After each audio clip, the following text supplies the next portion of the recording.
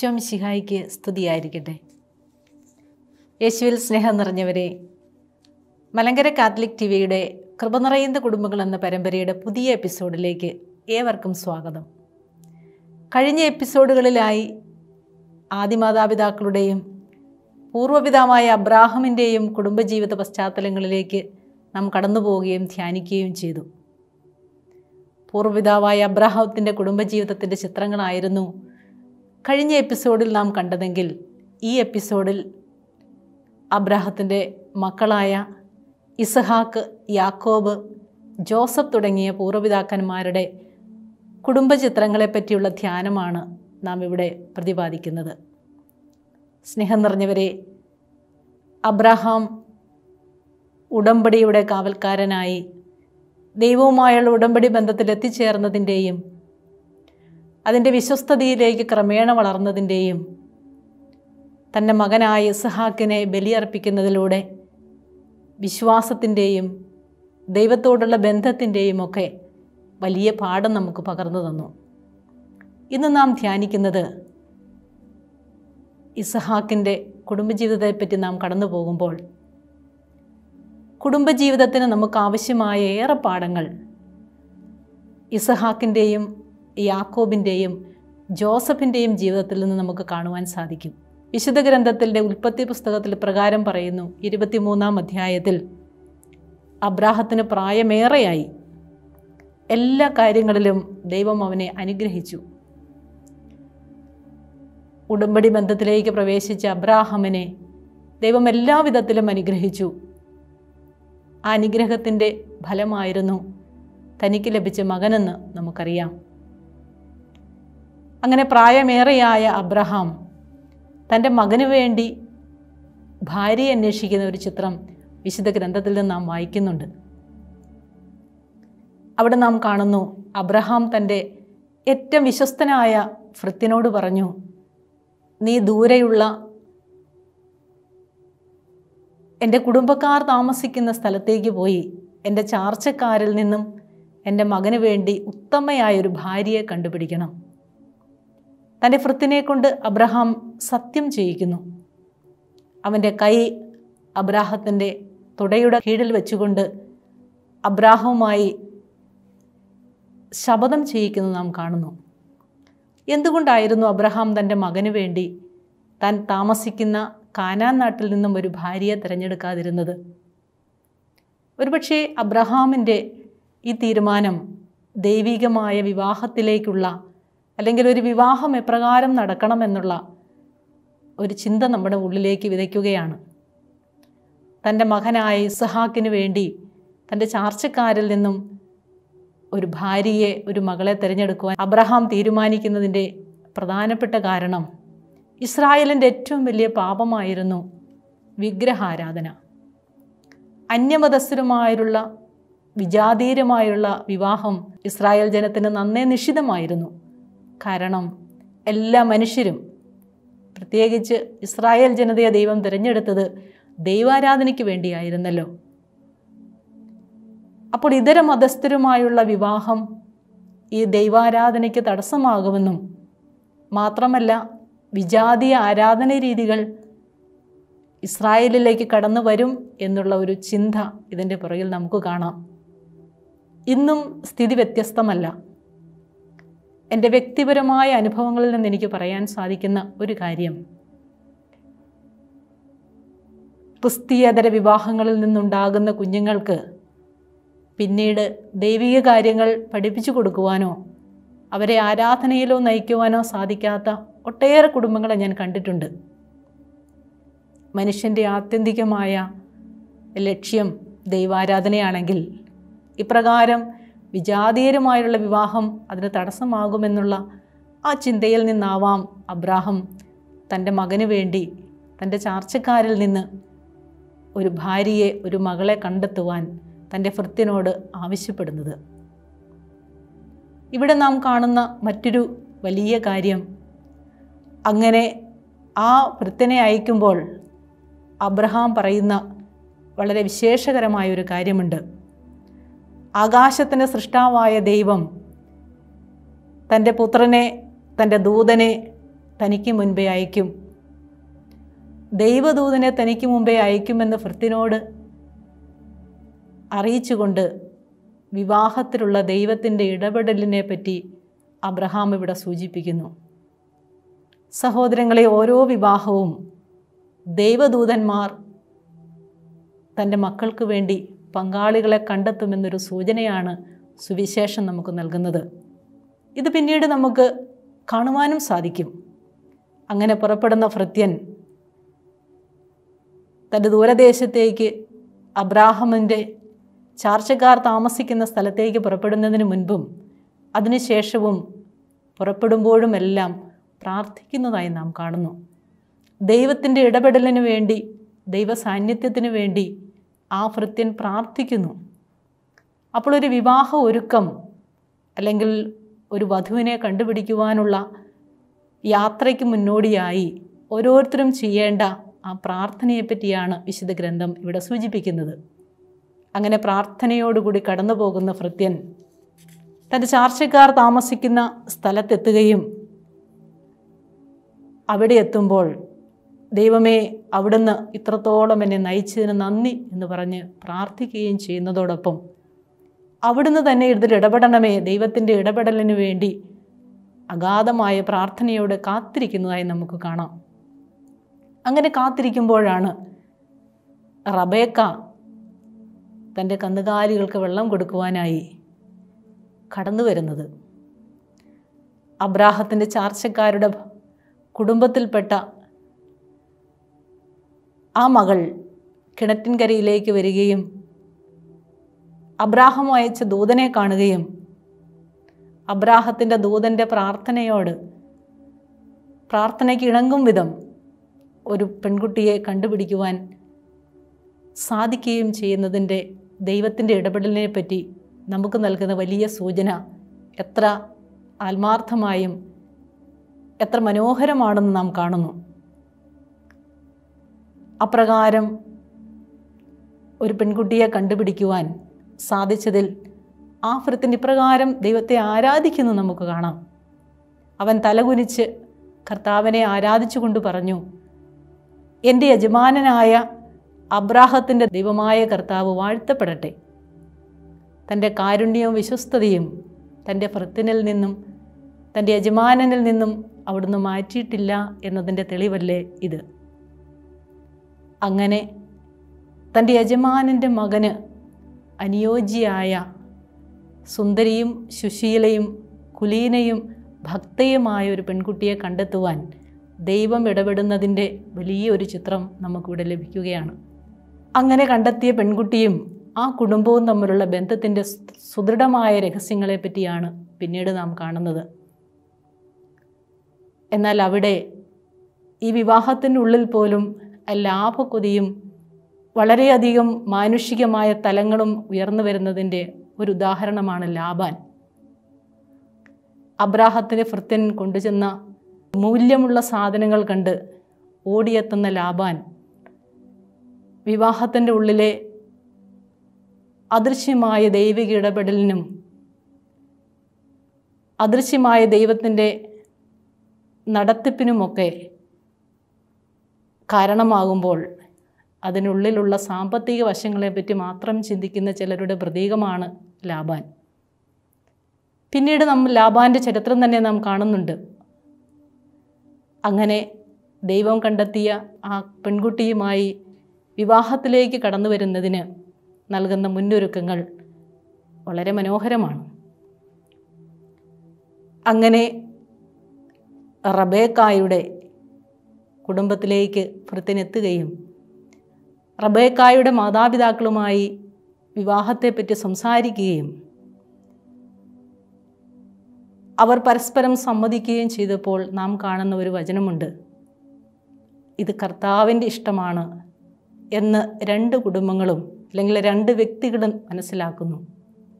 ഓരോ വിവാഹവും ദൈവത്തിന്റെ ദൂതന്മാരാൽ ആനയിക്കപ്പെട്ട് ദൈവത്തിന്റെ ദൂതന്മാരാൽ ദൈവത്തിന്റെ ആത്മാവാൽ നയിക്കപ്പെടുന്ന ഓരോ വിവാഹവും ദൈവത്തിന്റെ ഇഷ്ടമാണ് എന്നാണ് വിശുദ്ധ ഗ്രന്ഥം നമ്മോട് പറഞ്ഞു തരുന്നത്. പ്രിയപ്പെട്ടവരെ ഇന്ന് പലപ്പോഴും വിവാഹം ദൈവത്തിന്റെ ഇഷ്ടമെന്നതിനേക്കാൾ മനുഷ്യരുടെ ഇഷ്ടമായി മാറിപ്പോകുന്നില്ലേ? ഒരു പെൺകുട്ടിയും ആൺകുട്ടിയും തമ്മിൽ കണ്ടെത്തുമ്പോൾ തമ്മിൽ കണ്ടുമുട്ടുമ്പോൾ അവർക്ക് തോന്നുന്ന ചില ഇഷ്ടങ്ങളാണ് ഇന്ന് വിവാഹത്തിന്റെ മാനദണ്ഡങ്ങൾ. അവരുടെ ഇഷ്ടങ്ങൾ അവരുടെ ഇഷ്ടങ്ങളെക്കാൾ ഉപരി അത് ദൈവത്തിന്റെ ഇഷ്ടമാണോ എന്ന് ചിന്തിക്കുവാൻ പലപ്പോഴും ഇന്ന് ആധുനിക തലമുറയും പലപ്പോഴും തയ്യാറാകുന്നില്ല എന്നുള്ളത് വിവാഹത്തിന്റെ പരാജയത്തിലേക്ക് വിരൽ ചൂണ്ടുന്ന ചില കാര്യങ്ങളാണെന്ന് വിശുദ്ധ ഗ്രന്ഥം നമ്മോട് പറഞ്ഞു തരികയല്ലേ? അങ്ങനെ ഇത് കർത്താവിന്റെ ഇഷ്ടമാണ് എന്ന് തിരിച്ചറിയുന്ന ആ കുടുംബം ആ കുടുംബത്തിന്റെ ആ ദൈവിക നടത്തിപ്പിൽ വളരെ മനോഹരമായി വീണ്ടും നമ്മുടെ മുമ്പിൽ ചിത്രം വിരിക്കുമ്പോൾ ആ ഭൃത്യനോടുകൂടി പുറപ്പെടുന്നതിനും അങ്ങനെ റബേക്കായും ഇസഹാക്കുമായുള്ള വിവാഹം നടക്കുന്നതും നാം കാണുന്നു. തന്റെ മാതാപിതാക്കളുടെ ആശീർവാദത്തോടുകൂടി തന്റെ ഭർത്തൃഗ്രഹത്തിലേക്ക് പുറപ്പെടുന്ന റബേക്ക മാതാപിതാക്കളുടെ ആശീർവാദം അനുഗ്രഹം അവരുടെ ആലോചന ഓരോ വിവാഹത്തിലും എത്ര പ്രാധാന്യമുള്ളതാണെന്നും അനുഗ്രഹത്തിന് കാരണമായി തീരുമെന്നും ഈ വിശുദ്ധ ഗ്രന്ഥ ഭാഗം നമ്മോട് വിളിച്ചോതുന്നു. ഒരുപക്ഷെ വിശുദ്ധ ഗ്രന്ഥത്തിലെ ഏറ്റവും മനോഹരമായ വിവാഹ ബന്ധമാണ് ഇസഹാക്കും റബേക്കായും തമ്മിലുള്ളത്. വളരെ സുന്ദരിയും സുശീലയുമായ റബേക്കയെ ഇസഹാക്ക് ഭാര്യയായി സ്വീകരിക്കുകയും തന്റെ മാതാവായ സാറായുടെ ഭവനത്തിൽ വെച്ച് അവളെ പരിഗ്രഹിക്കുകയും ചെയ്തുവെന്ന് വിശുദ്ധ ഗ്രന്ഥം നമ്മോട് പറയുമ്പോൾ പാരമ്പര്യങ്ങളുടെ തുടർച്ച ഇവിടെ നാം കാണുന്നു. തന്റെ മാതാവിന്റെ നഷ്ടത്തിൽ വേദനിച്ചിരുന്ന ദുഃഖിതനായിരുന്ന ഇസഹാക്കിന് ദൈവം കൊടുത്ത വലിയ അമൂല്യമായ സ്വത്തായിരുന്നു തന്റെ ഭാര്യ എന്ന് ഈ വിശുദ്ധ ഗ്രന്ഥം നമ്മോട് ഉദ്ബോധിപ്പിക്കുകയാണ് അങ്ങനെ റബേക്കായെ ഭാര്യയായി സ്വീകരിച്ച ഇസഹാക്ക് അവളെ ഹൃദയപൂർവം ഹൃദയതുല്യം പ്രാണനതുല്യം സ്നേഹിച്ചു. അങ്ങനെ പ്രാണനതുല്യം സ്നേഹിച്ച റബേക്കായുടെ ജീവിതത്തിൽ അല്ലെങ്കിൽ ഇസഹാക്കിന്റെ ജീവിതത്തിൽ മറ്റൊരിക്കലും ഒരു സ്ത്രീ പോലും കടന്നു വന്നില്ല എന്നുള്ളത് വിവാഹ ജീവിതത്തിന്റെ പവിത്രതയെയും അതിന്റെ അവിഭാജ്യതയെയും പറ്റി ഇവിടെ സൂചിപ്പിക്കുകയാണ്. അവരുടെ സ്നേഹത്തിന്റെ ആഴം അവരുടെ സ്നേഹത്തിന്റെ ആ സുദൃഢത നാം മനസ്സിലാക്കുന്നത്. ഇസഹാക്ക് റബേക്കായെ വിവാഹം കഴിക്കുന്നത് അവന്റെ നാൽപ്പതാമത്തെ വയസ്സിലാണ്. അങ്ങനെ നാൽപ്പത് വയസ്സ് മുതൽ സ്നേഹത്തിലും പരസ്പര ധാരണയിലും വിശ്വസ്തതയിലും കടന്നുപോയ കുടുംബത്തിന് പക്ഷേ ഒരു സന്താന ഭാഗ്യമില്ലായിരുന്നു എന്ന് നാം കാണുന്നു. എങ്കിൽ പോലും ദൈവം തന്നെ നടത്തും എന്നുള്ള വിശ്വാസത്തിൽ ഒരുപക്ഷെ തന്റെ പിതാവായ അബ്രാഹമിൽ നിന്ന് കിട്ടിയ ആ സുദൃഢമായ വിശ്വാസത്തിൽ അവർ ഇരുപത് കൊല്ലം ദൈവത്തിന് വേണ്ടി കാത്തിരുന്നു എന്ന് നാം പറയുമ്പോൾ ഇസഹാക്ക് തന്റെ പിതാവായ അബ്രാഹവത്തിൽ നിന്നും ഏറെ പഠിച്ചിരുന്നു എന്ന് നാം മനസ്സിലാക്കുന്നു. കാരണം അബ്രാഹത്തിന് വാഗ്ദാനം ലഭിച്ചതിന് ശേഷം എത്രയോ വർഷങ്ങൾ കാത്തിരിക്കേണ്ടി വന്നു. ആ ദൈവം തന്നെയും നടത്തുമെന്ന് ആ മകനായ ഇസഹാക്ക് വിശ്വസിച്ചിരുന്നു എന്ന് നാം മനസ്സിലാക്കുന്നു. അങ്ങനെ നാൽപ്പതാം വയസ്സിൽ വിവാഹം ചെയ്ത ഇസഹാക്കിനും മക്കൾ ജനിക്കുന്നത് അറുപതാമത്തെ വയസ്സിലാണ്. നീണ്ട ഇരുപത് വർഷങ്ങളുടെ നീണ്ട കാത്തിരിപ്പിന് ഇടയിൽ ഇസഹാക്ക് തന്റെ ഭാര്യയായ വന്ധ്യയായ ഭാര്യയ്ക്ക് വേണ്ടി പ്രാർത്ഥിക്കുന്നതായി വിശുദ്ധ ഗ്രന്ഥം നമ്മോട് സാക്ഷിക്കുന്നു. ഇവിടെ നാം മനസ്സിലാക്കേണ്ടത് ജീവിതത്തിന്റെ വൈരുദ്ധ്യങ്ങളും പ്രതിസന്ധികളും കടന്നു വരുമ്പോൾ ഒരു കുടുംബം എന്താണ് ചെയ്യേണ്ടത്? ഒരു ഭർത്താവ് എന്താണ് ചെയ്യേണ്ടത്? ഒരു ഭാര്യ എന്താണ് ചെയ്യേണ്ടത് എന്ന് വളരെ വ്യക്തമായി ഇസഹാക്കിന്റെയും റബേക്കായുടെയും ജീവിതത്തിലൂടെ വിശുദ്ധ ഗ്രന്ഥത്തിന്റെ താളുകളിലൂടെ ദൈവം നമ്മോട് വിളിച്ചോതുന്നു. അങ്ങനെ അബ്രാഹത്തിന്റെ മകനായ ഇസഹാക്കിന്റെ ജീവിതത്തിലേക്ക് ദൈവം നൽകിയ അനുഗ്രഹമായിരുന്നു തന്റെ അറുപതാം വയസ്സിൽ ജനിച്ച രണ്ട് മക്കൾ ഏസാവും യാക്കോബും. അങ്ങനെ ആ മക്കളെ കിട്ടുമ്പോൾ തന്റെ ഉദരഫലമായ മക്കൾ ജനിക്കുമ്പോൾ ദൈവത്തിൽ നിന്നുണ്ടായ അരുളപ്പാട് റബേക്കായ്ക്ക് വളരെ വ്യക്തമായി മനസ്സിലാക്കിയിരുന്നു. ദൈവത്തിന്റെ തിരഞ്ഞെടുപ്പിനെ പറ്റിയുള്ള വ്യക്തമായ ധാരണ റബേക്കായ്ക്കുണ്ടായിരുന്നു അതുകൊണ്ടാണ് പിന്നീട് നാം കടന്നു വരുമ്പോൾ അവരുടെ ജീവിതത്തിലുണ്ടാകുന്ന അല്ലെങ്കിൽ ആ മക്കളിലുണ്ടായിരുന്ന വ്യതിയാനങ്ങളെപ്പറ്റി ഈ വിശുദ്ധ ഗ്രന്ഥം നമ്മോട് സാക്ഷിക്കുമ്പോൾ ചില വ്യത്യസ്തമായ അനുഭവങ്ങളിലേക്ക് നാം കടന്നു വരുന്നു. ഒരുപക്ഷേ ചില കുടുംബങ്ങളിൽ ഉണ്ടാകുന്ന ചില വൈരുദ്ധ്യങ്ങളാണ് ഇവിടെയും നാം കാണുന്നത്. ഓരോ കുടുംബജീവിതവും മരുഭൂമിയിലെ നീണ്ട പ്രയാണം പോലെ വീണ്ടും വീണ്ടും തേച്ച് വെളുപ്പിക്കപ്പെടേണ്ടതും ദൈവത്തിന്റെ സ്നേഹത്തിലേക്ക് വളർന്നു വരേണ്ടതുമാണെന്ന് അവരുടെ ജീവിതത്തിലെ ബാക്കി അധ്യായങ്ങൾ നമ്മോട് പറയുകയാണ്. ഇസഹാക്കിന് ജനിക്കുന്ന രണ്ട് മക്കളായിരുന്നു ഏസാവും യാക്കോബും.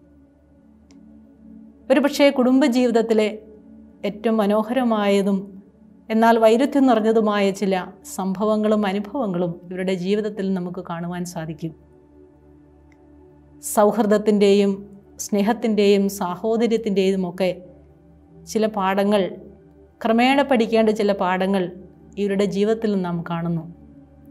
ഇസഹാക്കിന്റെയും യാക്കോബിന്റെയും ജീവിതത്തിൽ നിന്ന് കുടുംബ ഭദ്രതയുടെയും ദാമ്പത്തിക സ്നേഹത്തിന്റെയും ദാമ്പത്തികമായ അടുപ്പത്തിന്റെയും ഒക്കെ ചിത്രം നാം കാണുന്നുവെങ്കിൽ അവരുടെ മക്കളുടെ തലമുറയിലേക്ക് നാം കടക്കുമ്പോൾ കാണുന്ന ചില വൈരുദ്ധ്യങ്ങൾ ഇവിടെ പ്രതിപാദിക്കട്ടെ. സ്നേഹം നിറഞ്ഞവരെ വിശുദ്ധ ഗ്രന്ഥം സാക്ഷിക്കുന്നത് പോലെ മൂത്ത മകനായ ഏസാവ് മിടുക്കനും ചുറുചുറുക്കുള്ളവനും മാതാപിതാക്കളുടെ കണ്ണിൽ ഊർജസ്വലനുമായിരുന്നു. അവൻ കാഴ്ചയിലും സുന്ദരനായിരുന്നു. എന്നാൽ രണ്ടാമനായ യാക്കോബാകട്ടെ ഒതുങ്ങി ജീവിക്കുന്നവനും കൂടാരങ്ങളിൽ വസിക്കുന്ന ഒരുവനായിട്ടാണ് വിശുദ്ധ ഗ്രന്ഥം സാക്ഷിക്കുന്നത്. എന്നാൽ ദൈവം തിരഞ്ഞെടുക്കുന്നത് ഈ രണ്ടാമനെയായിരുന്നു മനുഷ്യരുടെ കണ്ടിൽ മിടുക്കനായ ഉള്ളവനെയോ സൗന്ദര്യമുള്ളവനെയോ ഊർജസ്വലനെയായവനെയല്ല ദൈവം തിരഞ്ഞെടുക്കുന്നത് എന്ന് ഇവിടെ നാം കാണുന്നു. ദൈവത്തിന്റെ തിരഞ്ഞെടുപ്പിനോട് സഹകരിക്കുവാൻ ഇസഹാക്കും റബേക്കായും ദൈവദഹിതം തിരിച്ചറിയുവാൻ പരിശ്രമിക്കുന്നതിന്റെ ചില താളുകൾ അല്ലെങ്കിൽ ചില ചിത്രങ്ങൾ കാണുന്നതിന് പകരം ഇസഹാക്ക് പലപ്പോഴും ഇടറിപ്പോകുന്നത് നാം അവിടെ കാണുന്നു. ഇസഹാക്കിന് താല്പര്യമുള്ള ഇറച്ചി കൊടുക്കുന്ന മകനായ ഏസാവിനെ ആയിരുന്നു. ഇസഹാക്കിന് താല്പര്യമെങ്കിൽ ദൈവഹിതത്തിന് അല്ലെങ്കിൽ ദൈവത്തിന്റെ തിരുഹിതം വെളിപ്പെടുത്തപ്പെട്ടപ്പോൾ തന്റെ രണ്ടാമത്തെ മകനെയാണ് തിരഞ്ഞെടുക്കപ്പെട്ടതെന്ന് തിരിച്ചറിഞ്ഞ റബേക്ക തന്റെ രണ്ടാമത്തെ മകന് വേണ്ടി പക്ഷം പിടിക്കുന്നു നാം ഇവിടെ കാണുന്നു. ഇവിടെ നാം മനസ്സിലാക്കുന്ന മറ്റൊരു വസ്തുത. ഏസാവ് മൂത്തപുത്രനായിരുന്നുവെങ്കിലും അവൻ പക്ഷേ തന്റെ കുടുംബ ബന്ധങ്ങളിൽ തകർച്ചയുള്ളവനായിരുന്നു. കാരണം മൂത്ത പുത്രനാണ് കടിഞ്ഞൂൽ പുത്രനായിരുന്നു എപ്പോഴും. പിതാവിന്റെ ഓഹരിക്കും അനുഗ്രഹത്തിനും പാത്രീഭൂതനാകേണ്ടിയിരുന്നത്. എന്നാൽ ഏസാവാകട്ടെ തനിക്ക് അമൂല്യമായി കിട്ടേണ്ടിയിരുന്ന പൈതൃകം നിസാരമായി കരുതി. എന്നാൽ യാക്കോബാകട്ടെ ഈ പൈതൃക അവകാശം അമൂല്യതയുള്ളതായി കരുതി. ഒരുപക്ഷെ ഇന്ന് നമുക്ക് ഇത് കാണാവുന്നതാണ്. അതിന്റെ പാഠങ്ങൾ അല്ലെങ്കിൽ അതിന്റെ സംഭവങ്ങൾ നാം വിശുദ്ധ ഗ്രന്ഥത്തിൽ വായിക്കുമ്പോൾ വിശന്ന് വലഞ്ഞു വന്ന ഏസാവ് ഒരു പാത്രം ചൂട് പായസത്തിന് വേണ്ടി ചുമന്ന പായസത്തിന് വേണ്ടി തന്റെ പിതൃത്വം വിൽക്കുന്നത് നാം കാണാം. ലൗകികമായ വിശപ്പുകൾക്ക് മുൻപിൽ കുടുംബത്തിന്റെ പൈതൃകം വിറ്റുതുലയ്ക്കുന്ന നിസാരമായി കരുതുന്ന ചില ജന്മങ്ങളെയല്ലേ ഈ ഏസാവ് സൂചിപ്പിക്കുന്നത്? ജടികമായ സന്തോഷങ്ങൾക്കും താല്പര്യങ്ങൾക്കും അധികാരങ്ങൾക്കും സ്വത്തിനും വേണ്ടിയൊക്കെ പൈതൃകത്തെ തള്ളിപ്പറയുന്ന കുടുംബത്തെ തള്ളിപ്പറയുന്ന മനുഷ്യരുടെ പ്രതീകമാണ് യേസാവ് അങ്ങനെ തള്ളിപ്പറഞ്ഞ പൈതൃകത്തിന്റെ പേരിൽ അനുഗ്രഹം നിഷേധിക്കപ്പെട്ടതിന്റെ പേരിൽ കലഹിക്കുന്ന സഹോദരങ്ങളെ നാം ഇവിടെ കാണുന്നു. ദൈവത്തിന്റെ അനുഗ്രഹം മാതാപിതാക്കളിലൂടെ വരുന്ന അനുഗ്രഹം വിലയുള്ളതായി കരുതുന്നവരാണ് അനുഗ്രഹിക്കപ്പെടുന്നത് എന്ന് ഇവരുടെ കുടുംബജീവിതത്തിൽ നിന്നും ഈ സാഹോദര്യത്തിൽ നാം മനസ്സിലാക്കുന്നു. അതിനാൽ ഏസാവും യാക്കോബും തന്നിൽ സഹോദരങ്ങളായിരുന്നിട്ടും രക്തബന്ധമുള്ളവരായിരുന്നിട്ടും ഒരേ ഉദരത്തിൽ ഒരേ സമയത്ത് പിറന്നവരായിരുന്നിട്ടും പിതൃ അനുഗ്രഹത്തിന്റെ പേരിൽ പരസ്പരം ഭിന്നിക്കുന്നത് നാം കാണുമ്പോൾ അനേക കുടുംബങ്ങളിൽ ഇന്നും ഇതേ അനുഭവം ആവർത്തിക്കപ്പെടുന്നില്ലേ എന്ന ചോദ്യം നമ്മുടെ മുമ്പിൽ ഉയരുകയാണ്. ദൈവത്തിന്റെ അനുഗ്രഹം ദൈവം നൽകുന്ന വഴികളിലൂടെ നടക്കുവാൻ വിസമ്മതിക്കുന്ന ഏസാവ് പിന്നീട് ഏതോമ്യരുടെ ഏതോമ്യർ എന്ന ജനവിഭാഗത്തിന്റെ തലവനായി തീർന്നത് നാം കാണുന്നു. അങ്ങനെ ഏസാവ് പൈതൃകത്തിൽ നിന്നും വേർപെട്ടവൻ പിന്നീട് രണ്ട് കാനാന്യ സ്ത്രീകളെയും രണ്ട് ഹിത്യ സ്ത്രീകളെയും വിവാഹം ചെയ്യുന്നതായി നാം കാണുന്നു. ബഹുഭാരാദ്യം മൂലം പിന്നീട് വളരെയേറെ കഷ്ടപ്പെടുന്ന യാക്കോബും യാക്കോബിന്റെ ഭാര്യയും നാം കാണുന്നു. ബഹുഭാര്യത്വം സമൂഹത്തിലും കുടുംബത്തിലുണ്ടാക്കുന്ന ഭിന്നതകളും അസ്വസ്ഥതകളും അസ്വാരസ്യങ്ങളുമൊക്കെ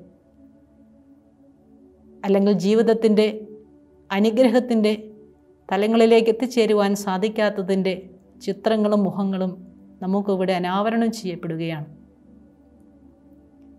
ഒളിച്ചോട്ടത്തിന്റെയും രക്ഷപ്പെടലിന്റെയും ഒക്കെ പിന്നാമ്പുറങ്ങളാണ് പിന്നീട് നാം കാണുന്നത്. അങ്ങനെ സഹോദരിൽ നിന്നും രക്ഷപ്പെട്ടു ഓടുന്ന ജേക്കബ് അല്ലെങ്കിൽ യാക്കോബ് എത്തിച്ചേരുന്നത് മറ്റൊരു ചതിയിലേക്കും ചതിയുടെ എണ്ണമറ്റ ചരിത്രങ്ങളിലേക്കുമാണ്. തന്റെ അമ്മാവനായ ലാബാൻ നാം മുമ്പ് കാണുകയുണ്ടായി ലാബാൻ സാമ്പത്തികമായ കാര്യങ്ങളിൽ അത്യാർത്തി പൂണ്ടവനും ദൈവിക ഹിതം അനുസരിച്ച് മുന്നോട്ട് പോകുവാൻ സാധിക്കാത്ത ഒരുവരുമായിരുന്നുവെന്ന്. അതിനാൽ യാക്കോബിന് തന്റെ ജീവിതം മുഴുവൻ അല്ലെങ്കിൽ ഏറിയ ജീവിതം ചതിയുടെ കെണിയുടെ ഉള്ളിൽ പെടേണ്ട ആവശ്യമായി വന്നു എന്ന് നാം കാണുന്നു. അവിടെയും യാക്കോബിനും ബഹുഭാരിത്വത്തിലേക്ക് കടന്നു വരേണ്ട ചില ദുരന്തങ്ങളുണ്ടായി എന്ന് നാം മനസ്സിലാക്കുന്നു. അങ്ങനെ നാല് ഭാര്യമാരെ സ്വീകരിച്ച ഒരുപക്ഷെ ചതിയിലൂടെയോ മറ്റ് നിർബന്ധങ്ങളിലൂടെയോ ഒക്കെ ബഹുഭാരിത്വത്തിലേക്ക് കടന്നു വന്ന യാക്കോബ് സ്വയം വഞ്ചിക്കുകയായിരുന്നില്ലേ? ദൈവത്തിന്റെ വഴികളിൽ നിന്നും ദൈവത്തിന്റെ വഴികളിലൂടെ വരുവാൻ വിസമ്മതിച്ച യാക്കോബ്. പിന്നീട് നാം കാണുന്നുണ്ട് ലാബാന്റെ കൂടെയുള്ള നീണ്ട ജീവിതത്തിന് ശേഷം അവനിൽ നിന്ന് ഒളിച്ചോടുകയും സ്വയം ജീവിക്കുവാനായി ആഗ്രഹിക്കുകയും ചെയ്യുന്നു. യാക്കോബിനെ സംബന്ധിച്ച് രണ്ട് സ്ഥലങ്ങളിലും ശത്രുക്കളുടെ നീണ്ട നിര കാണുന്നു. ഒരു സ്ഥലത്ത് തന്റെ അമ്മാവനും കുടുംബവും മറുഭാഗത്ത് തന്റെ സഹോദരനും സഹോദരന്റെ കുലവും. അങ്ങനെ യാക്കോബ് നീണ്ട ഒരു മൽപിടുത്തത്തിലായിരുന്നു സ്നേഹത്തിന്റെ പാതകളിലേക്കോ ദൈവത്തിന്റെ പാതകളിലേക്കോ ഒന്നും എത്തിച്ചേരാനാവാതെ യാക്കോബ് അലഞ്ഞു തിരികുകയായിരുന്നു തന്റെ കുടുംബമായി സ്വസ്ഥതയില്ലാത്ത ഒരു ജീവിതം. എന്നാൽ പിന്നീട് യാക്കോബ് ദൈവത്തെ കണ്ടുമുട്ടുന്ന ചില ചിത്രങ്ങൾ നമുക്ക് കാണാം. ദൈവദൂതനുമായി മൽപ്പിടുത്തം നടത്തുന്ന യാക്കോബ്. ദൈവദൂതനുമായി മൽപ്പിടുത്തം നടത്തുന്ന യാക്കോബ്. ഒരുപക്ഷെ അവൻ മൽപ്പിടുത്തം നടത്തിയത് തന്റെ ജീവിതം മുഴുവൻ ഒരു മൽപ്പിടുത്തമായിരുന്നു. ദൈവത്തോടും സഹോദരങ്ങളോടും. കുടുംബജീവിതത്തിലൂടെ ദൈവസ്നേഹത്തിലേക്ക് മുന്നേറേണ്ടിയിരുന്ന അവൻ തന്റെ സഹോദരങ്ങളോട് മൽപ്പിടുത്തം നടത്തുമ്പോൾ തീർച്ചയായും മൽപ്പിടുത്തം നടത്തുന്നത് തന്റെ സഹോദരങ്ങളുമായിട്ടാണ്. മറ്റൊരു വാക്കിൽ പറഞ്ഞാൽ ദൈവവുമായി മൽപ്പിടുത്തം നടത്തി നടത്തുന്നവൻ തീർച്ചയായും സഹോദരങ്ങളുമായി മൽപ്പിടുത്തം നടത്തുന്നവനായിരിക്കും. ദൈവവുമായി മൽപ്പിടുത്തം നടത്തി അനുഗ്രഹം പ്രാപിച്ച യാക്കോബ് പിന്നീട് തന്റെ ജീവിതത്തിന്റെ വ്യത്യസ്തമായൊരു തലത്തിലേക്ക് സാഹോദര്യത്തിന്റെ ഒരു തലത്തിലേക്ക് കടന്നു വരുന്നു നാം കാണുന്നുണ്ട്. തന്റെ സഹോദരൻ ശത്രുവായി കണ്ടിരുന്ന യാക്കോബാകട്ടെ പിന്നീട് തന്റെ സ്വാർത്ഥത കൈവെടിഞ്ഞ് തന്റെ സഹോദരന്റെ സാഹോദര്യത്തിലേക്ക് കടന്നു വരുന്നു നാം കാണുന്നു. യാക്കോബ് എത്രമാത്രം സ്വാർത്ഥനായിരുന്നു എന്ന് അവന്റെ ജീവിതത്തിൽ നമുക്ക് കാണാം. തന്റെ സഹോദരനായ ഏസാവിനെ കണ്ടുമുട്ടാൻ ആടുമാടുകളോടും ഭൃത്യന്മാരോടും കൂടെ പുറപ്പെടുന്ന യാക്കോബ് തന്റെ കൂടെയുള്ളവരെല്ലാം മുന്നിൽ വിട്ടിട്ട് സ്വയം രക്ഷപ്പെടുവാൻ വേണ്ടി ഏറ്റവും പുറകിൽ നിൽക്കുന്നതായും സാധിക്കുമെങ്കിൽ തന്റെ സഹോദരൻ ആക്രമിച്ചാൽ ഒരുപക്ഷെ ബാക്കി എല്ലാവരും നഷ്ടപ്പെട്ടാലും സ്വന്തം ഭാര്യയും മക്കളും വരെ നഷ്ടപ്പെട്ടാലും താൻ രക്ഷപ്പെടണമെന്ന് ആഗ്രഹിച്ചുകൊണ്ട് യാബോക്ക് നദിയുടെ ഇക്കരെ നിൽക്കുന്ന ഒരു ചിത്രം ഉൽപ്പത്തി പുസ്തകത്തിൽ നമുക്ക് വായിക്കാൻ സാധിക്കും. അവിടെ വെച്ചാണ് ദൈവവുമായി മൽപ്പിടുത്തം നടത്തുന്നത്. അവന്റെ ഉള്ളിലുള്ള സ്വാർത്ഥതയും സുരക്ഷിതത്വമില്ലായ്മയും അവന്റെ സ്വന്തം സ്നേഹവുമെല്ലാം ഇവിടെ വ്യക്തമായി നാം കാണുകയാണ്. നാല് ഭാര്യമാരുണ്ടായിരുന്നിട്ടും പത്തു മക്കളുണ്ടായിരുന്നിട്ടും പന്ത്രണ്ട് മക്കളുണ്ടായിരുന്നിട്ടും അവരെല്ലാം തനിക്ക് വേണ്ടി ഉപകരണങ്ങളാക്കുന്ന ഒരു യാക്കോബിനെയാണ് നാം ഇവിടെ കാണുന്നത്. സ്വാർത്ഥതയുടെ കുടുംബത്തിനുള്ളിൽ പോലും സ്വന്തം മക്കളോടും സ്വന്തം ഭാര്യമാരോടും പോലും സ്വാർത്ഥതമായ സ്നേഹമുള്ള ഒരു യാക്കോബ് എന്നാൽ ദൈവത്തെ കണ്ടുമുട്ടിയപ്പോൾ യാക്കോബ് പിന്നീട് ഏറ്റവും മുന്നിൽ നിന്ന് തന്റെ സഹോദരനെ കണ്ടെത്തുവാൻ തന്റെ സഹോദരനെ കണ്ടുമുട്ടുവാൻ നടന്നു നീങ്ങുന്ന ഒരു ചിത്രം എത്ര ഹൃദയഹാരിയാണ്. അങ്ങനെ ദൈവവുമായി അല്ലെങ്കിൽ ദൈവത്തിന്റെ വഴികളിലേക്ക് തിരിച്ചു നടക്കുവാൻ ആഗ്രഹിച്ച് യാക്കോബിന് തന്റെ സഹോദരൻ സ്നേഹിതനായി തീർന്നു നാം കാണുന്നു. വിശുദ്ധ ഗ്രന്ഥത്തിന്റെ മറ്റു താളുകൾ നാം കണ്ടിട്ടുണ്ട്. ദൈവവുമായി ശത്രുതയുള്ളവൻ മറ്റെല്ലാറ്റിനോടും ശത്രുതയുള്ളവനായിരിക്കും. അത് തന്റെ സഹോദരങ്ങളാകട്ടെ കുടുംബാംഗങ്ങളാകട്ടെ സ്വന്തം രക്തത്തിൽ പിറക്കുന്ന കുഞ്ഞുങ്ങളാവട്ടെ. ഇവിടെ നമ്മോട് വിശുദ്ധ ഗ്രന്ഥം പറഞ്ഞു തരുന്ന പാഠം ദൈവവുമായി സൗഹൃദത്തിലായിരിക്കുമ്പോൾ അല്ലെങ്കിൽ ദൈവവുമായി സൗഹൃദത്തിലാകുന്നവൻ തന്നോട് ശത്രുതയിൽ കഴിയുന്നവരോട് പോലും അല്ലെങ്കിൽ ശത്രുതയുള്ളവർ പോലും തന്നോട് സൗഹൃദത്തിൽ ഇണങ്ങി കഴിയുന്നു എന്നുള്ള പ്രഭാഷകന്റെ വചനമാണ്. അങ്ങനെ സാഹോദര്യത്തിലേക്ക് കടന്നു വരുന്ന ഒരു യാക്കോബ് സാഹോദര്യത്തിന്റെ ഉയർന്ന തലത്തിലേക്ക് വളർന്നു വരുന്ന യാക്കോബിന്റെ കുടുംബത്തെയാണ് നാം ഇവിടെ കാണുന്നത്. സ്നേഹിക്കപ്പെട്ടവരെ കുടുംബജീവിതത്തിന്റെ വളരെ വലിയേറിയ പാഠമാണ് അല്ലെങ്കിൽ സാഹോദര്യത്തിന്റെ വലിയ പാഠമാണ് ഇവിടെ നാം മനസ്സിലാക്കുന്നത്. യാക്കോബിന്റെയും റബേക്കായുടെയും കുടുംബത്തിൽ ദാമ്പത്യ സ്നേഹത്തിന്റെ മനോഹരതയാകണമെങ്കിൽ ഇവിടെ നാം മനസ്സിലാക്കുന്നത് സാഹോദര്യത്തിന്റെ മാതൃകയാണ്. സ്നേഹം നിറഞ്ഞവരെ പിന്നീട് നാം കാണുന്ന യാക്കോബിന്റെ കുടുംബത്തിലേക്ക് നാം കടന്നു വരുമ്പോൾ യാക്കോബിന്റെ മക്കൾ തമ്മിലുള്ള സ്നേഹത്തിൽ നിന്നും നാം പഠിക്കേണ്ട മറ്റൊരു പാഠം ജോസഫിന്റെ ജീവിതത്തിൽ നിന്നാണ്. യാക്കോബിന്റെ കുടുംബത്തിൽ തിരഞ്ഞെടുക്കപ്പെട്ടവൻ ജോസഫ് ആയിരുന്നു എന്ന് നമുക്കറിയാമല്ലോ. പൂർവപിതാവായ ജോസഫ്. സംഭവങ്ങളുടെ ചരിത്രങ്ങളുടെ വിശദീകരണത്തിലേക്ക് ഞാൻ പോകുന്നില്ല. ജോസഫിന്റെ ജീവിതം നമുക്കറിയാം. തന്റെ പിതാവിന്റെ സ്നേഹത്താൽ അനുഗ്രഹിക്കപ്പെട്ടതായിരുന്നു. എന്നാൽ സഹോദരങ്ങളുടെ വ്യർത്ഥാഭിമാനവും അസൂയയും മൂലം ജോസഫ് വിദേശീയർക്ക് വേണ്ടി വിൽക്കപ്പെടുകയും അങ്ങനെ ഈജിപ്തിലെത്തുകയും ചെയ്യുന്ന ഒരു ചരിത്രം നമുക്കറിയാമല്ലോ. എന്നാൽ ഇവിടെ ജോസഫിന്റെ ജീവിതത്തിൽ നിന്ന് ജോസഫിന്റെ ജീവിതത്തിലെ വ്യക്തമായ ചില നന്മകൾ ഓരോ കുടുംബത്തിലേക്കും ഓരോ വ്യക്തികളിലേക്കും പകർത്തേണ്ട വ്യക്തമായ ചില നന്മകൾ ജോസഫിന്റെ ജീവിതം നമുക്ക് വച്ചു നീട്ടുന്നുണ്ട്. ജോസഫ് തന്റെ സഹോദരങ്ങളാൽ വെറുക്കപ്പെട്ടവനും ഒഴിവാക്കപ്പെടേണ്ടവനുമാണെന്ന് കരുതുമ്പോഴും ദൈവത്തിന്റെ നടത്തിപ്പിൽ അഗാധമായി വിശ്വസിക്കുന്ന ജോസഫ് അങ്ങനെ ഈജിപ്തിലെത്തുകയും ഈജിപ്തിലെ ഭർവോയുടെ ഇഷ്ടക്കാരനായി സൗഹൃദമുള്ളവനായി കഠിനമായ ഒരു ജീവിതത്തിന് ശേഷം ഉയർന്നു വരികയും ചെയ്ത ജോസഫ് ആ രാജ്യത്തിന്റെ ഔന്നത്യമാർന്ന പദവിയിലെത്തുമ്പോൾ തന്റെ സഹോദരങ്ങളെ മറക്കുവാൻ അവരെ ഒതുക്കുവാൻ ആ മഹോന്നതമായ ജീവിതത്തിന് സാധിക്കുന്നില്ല എന്ന് നാം കാണുന്നു. ഈജിപ്തിലേക്ക് വിശപ്പടക്കുവാൻ വേണ്ടി കടന്നു വരുന്നതിന്റെ സഹോദരങ്ങളെ തിരിച്ചറിയുന്ന ജോസഫിന്റെ മനോഭാവം എത്ര ദൈവീകമാണ്.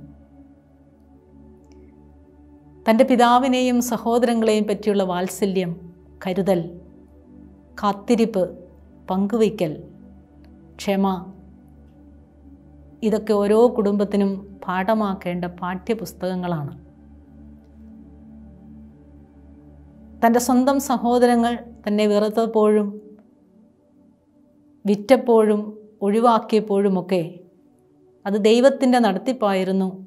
തന്റെ കുടുംബത്തിന് വേണ്ടി തന്റെ സമുദായത്തിന് വേണ്ടി ഇസ്രായേൽ കുലത്തിന് വേണ്ടി ദൈവം ചെയ്ത അദൃശ്യമായ നന്മകളായിരുന്നു എന്ന് തിരിച്ചറിയുവാൻ ജോസഫിന് സാധിക്കുന്നത് ഏറ്റവും അനുഗ്രഹപ്രദമാണ്. പ്രിയപ്പെട്ട സഹോദരങ്ങളെ നമ്മുടെ ജീവിതത്തിന്റെ ചില വഴിത്താരകളിലൊക്കെ അവിസ്മരണീയമാം വിധം നാം ഒരുപക്ഷെ പീഡിപ്പിക്കപ്പെടുമ്പോഴും മറ്റുള്ളവരാൽ അകറ്റപ്പെടുമ്പോഴും ദുഷിക്കപ്പെടുമ്പോഴും ദൈവം ഇതിലൂടെ നന്മ ചെയ്യുമെന്ന് മനസ്സിലാക്കുവാനുള്ള ഒരു വിശ്വാസത്തിന്റെ കണ്ണുകൾ ജോസഫിന്റെ ഈ ജീവിതത്തിൽ നിന്നും നാം പഠിച്ചെടുക്കുകയാണ്. അഗാധമായ ക്ഷമയുടെയും സാഹോദര്യത്തിന്റെയും അങ്ങനെ ദൈവം നടത്തുന്ന വഴികളെപ്പറ്റി തിരിച്ചറിഞ്ഞുകൊണ്ട് സഹോദരങ്ങളോട് ക്ഷമിക്കുവാനും കരുതുവാനുമുള്ള വിശാല മനസ്കത ഓരോരുത്തർക്കും ഓരോ കുടുംബാംഗങ്ങൾക്കും ഉണ്ടായാൽ നമ്മുടെ ഓരോരുത്തരുടെയും കുടുംബങ്ങൾ കൃപ നിറയുന്നതായി മാറും എന്ന് നമുക്ക് മനസ്സിലാക്കാം. അങ്ങനെ പ്രിയപ്പെട്ട സഹോദരങ്ങളെ വിവാഹത്തിന്റെ ഒരുക്കം വിവാഹം വിവാഹത്തിന് വേണ്ടിയുള്ള പ്രാർത്ഥന കുടുംബജീവിതം ദാമ്പത്യ സ്നേഹം അതിനോടുള്ള വിശ്വസ്തത സാഹോദര്യം സ്നേഹം പങ്കുവയ്ക്കൽ കരുതൽ കാത്തിരിപ്പ് ക്ഷമ അനുസരണം ദൈവത്തിന്റെ നടത്തിപ്പിലുള്ള അഗാധമായ വിശ്വാസം ഇവയെല്ലാം ഈ പൂർവപിതാക്കന്മാരുടെ ജീവിതത്തിൽ നിന്ന് നമുക്ക് വായിച്ചെടുക്കാനാവുന്നില്ലേ? നമ്മുടെ ജീവിതത്തിൽ പാഠമാകേണ്ട ഈ ജീവിത അനുഭവങ്ങളെ നമുക്കും ഒപ്പിയെടുക്കാം ഒരുപക്ഷെ അവരുടെ ജീവിതത്തിലെ ചില അവസ്ഥകൾ ചതിയുടെയും തെറ്റിന്റെയും സ്വാർത്ഥതയുടെയും ഒക്കെ ചില അംശങ്ങളുണ്ടെങ്കിൽ പോലും അവരിൽ നിന്ന് മനസ്സിലാക്കേണ്ട ഈ ദൈവികമായ പാഠങ്ങൾ നമ്മുടെ ഓരോ കുടുംബത്തിലും ഉണ്ടാവട്ടെ എന്ന് നമുക്ക് പ്രാർത്ഥിക്കാം. അങ്ങനെ പൂർവപിതാക്കന്മാരിലൂടെ അവരുടെ കുടുംബങ്ങളിലൂടെ മുന്നേറിയ കൃപ നമ്മുടെ കുടുംബങ്ങളിലും ഉണ്ടാവട്ടെ എന്ന് നമുക്കും പ്രാർത്ഥിക്കാം. നമ്മെല്ലാവരെയും ദൈവം അനുഗ്രഹിക്കട്ടെ.